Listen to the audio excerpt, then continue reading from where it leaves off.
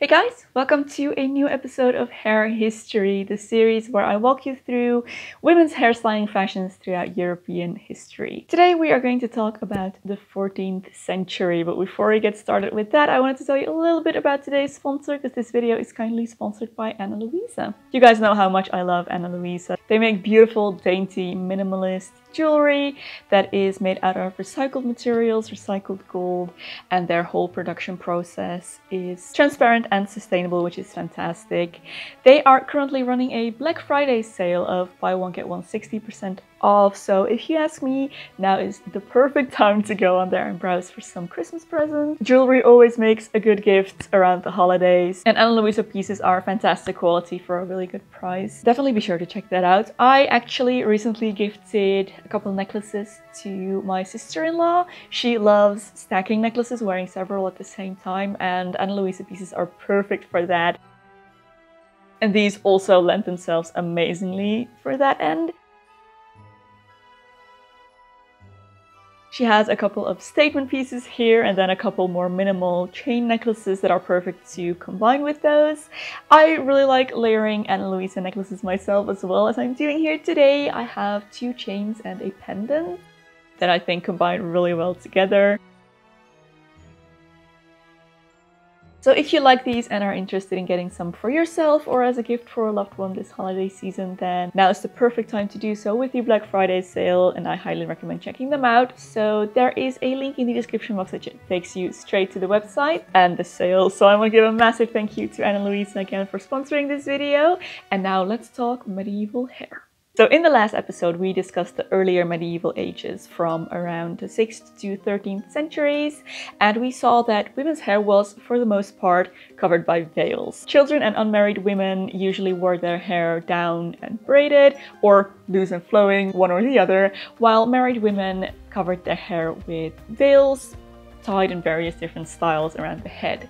So later in this period, uh, towards the middle of the 13th century, we saw the beginning of a shift that continues into the 14th century as well, where women still wear veils, but more and more of the hair is peeking out from underneath them. So that style we talked about last time, where the hair is worn in a hair net with a barbette or the chin strap and a fillet or a band around the head, that became popular in the 13th century and is still popular in the 14th, and it actually evolves into a more luxurious and sophisticated style style with the hairnets becoming more luxurious for the upper class, sometimes featuring embroidery or even being made of gold. Alternatively, the hair is worn in buns on the temples or the side of the face uh, without a hairnet in a kind of similar style to that previous style and this hairdo can be worn with or without a veil. Now, in the north of Europe in the 14th century, there is one very distinct style that shows up remarkably often in images from this period, and that is this one.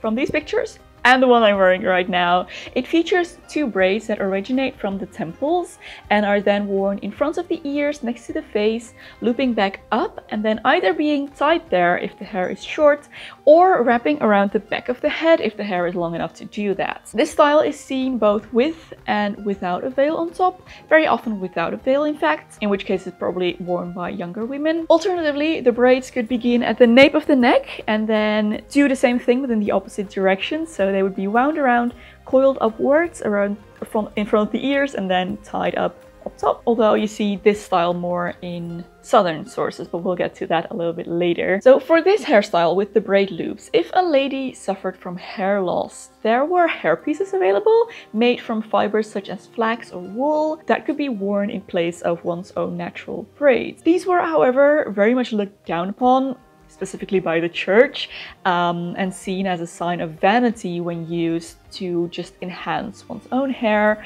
uh, when the hair was adequate. That is not to say that women didn't wear hairpieces frequently for many different reasons. so another remarkable hair accessory from this period is the flower crown.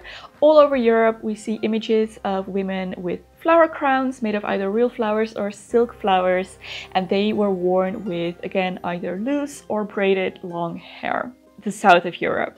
Here and in Italy especially, we are slowly starting to lose the veil altogether and women are starting to wear their hair unveiled again, regardless of their marital status. So many of the images of unveiled hair we have from this period are from the south of Europe and uh, from Italy more specifically. 14th century Italian ladies loved their braids. And this might be an understatement. We see braids in so many different shapes and sizes from this period, but generally there are one or two braids and they tend to be mostly coiled around the head in one way or another. And we can also even see some early examples of hair taping in 14th century Italy, which is a technique where the hair is bound and sewn um, with ribbons.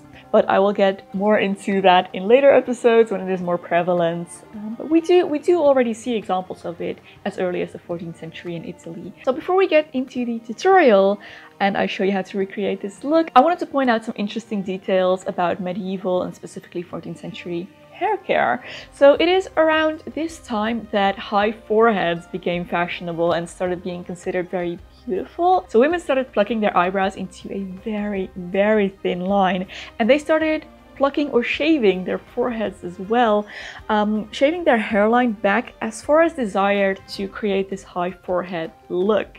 And this look stayed popular for centuries to come, and this is what gives us that typical strange to the modern eye um, look that medieval women often have in images. So something else I found quite remarkable from this period while researching is just how many images we have featuring medieval combs. From these images we can see clearly that they use this type of comb that is double-sided with white teeth on one side and then finer teeth on the other.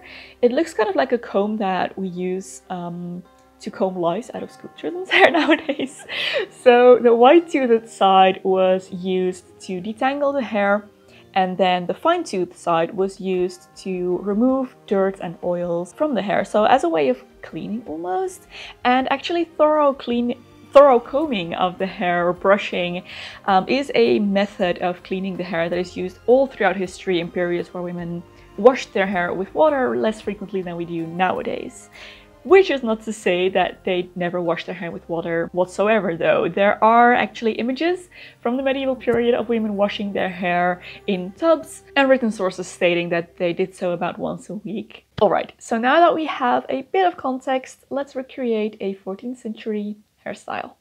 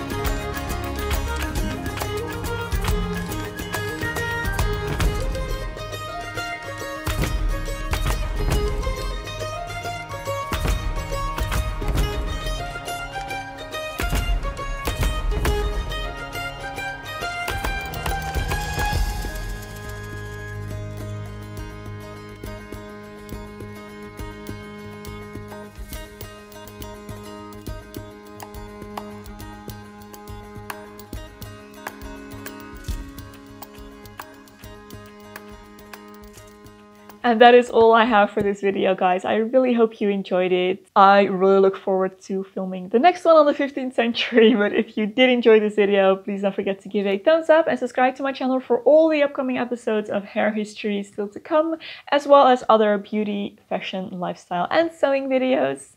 Don't forget to check out Ana Luisa's Black Friday sale through the link in the description box below.